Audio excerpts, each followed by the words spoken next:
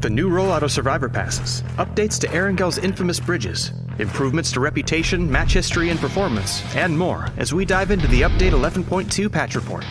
Welcome back, Survivors. First up this patch, we're rolling out the Survivor Pass changes we've been chatting about. Starting with 11.2, the Survivor Pass and its theme will no longer be linked to the new season. This allows us a little more freedom in what we put in the passes while not being forced into a full season duration. Our first pass is a little less serious than the lava-filled highlands of Paramo. Next up, Erangel's infamous bridge to Sosnovka Island is getting a small rework. Our goal here is to tone down the choke point aspect of the bridge slightly, offering survivors an alternative means of crossing, once the explosions stop. To do this, we've widened the bridge slightly and added new catwalks. We've also improved cover a bit by adjusting the dump truck cargo box. We don't expect this will majorly change how people utilize the bridge, but we'd love to hear your thoughts once you've given the new bridge a few rounds of play.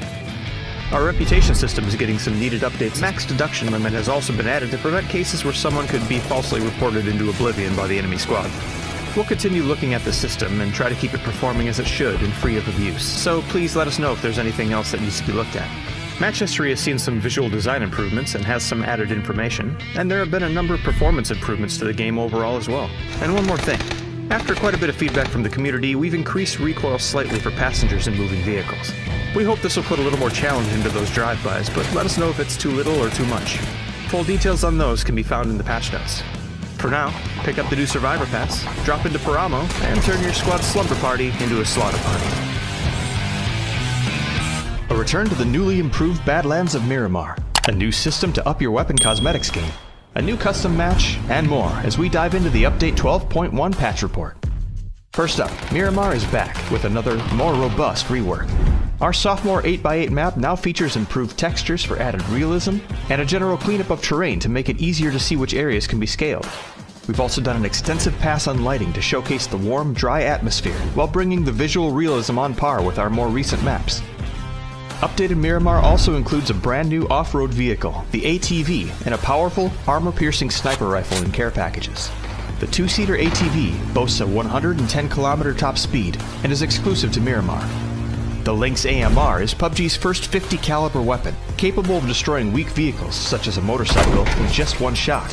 The Lynx can even pierce the otherwise bulletproof windows of the BRDM to snipe players inside the vehicle. The downside of the new anti-material rifle is you only get 5 shots with no way to reload, so use them wisely. This is our biggest update to Miramar yet, so be sure to let us know your feedback on the new and improved Badlands. Up next, we've added a new way to obtain and improve weapon skins with the weapon skin upgrade system. Every season, we'll update new weapon skins called progressive weapons that can be updated using components you collect from deconstructing extra skins you have or by opening contraband crates with Gcoin or BP. The more you upgrade these special weapons, the cooler your new skin looks with visual improvements to attachments, enemy death boxes, animations, the kill feed, and more. You can even unlock a battle stat counter for these weapons, so upgrade to your heart's content. The first progressive weapon dropping is the Gearhead Barrel, so start digging through those contraband crates to try and find yours and get upgrading.